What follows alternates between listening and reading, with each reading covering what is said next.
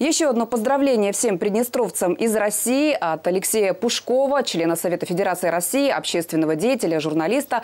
Алексей Пушков всегда выступал за поддержку нашей республики, будучи еще депутатом Госдумы, а сейчас уже в качестве сенатора. Я поздравляю руководство и жителей Приднестровской республики с 30-летием со дня образования. За это время Приднестровье, Приднестровская республика доказала свою жизнеспособность. Она доказала свое моральное и политическое право на существование и является достойной частью современного русского мира. Еще раз с праздником, с юбилеем, больших вам успехов и долгих лет жизни!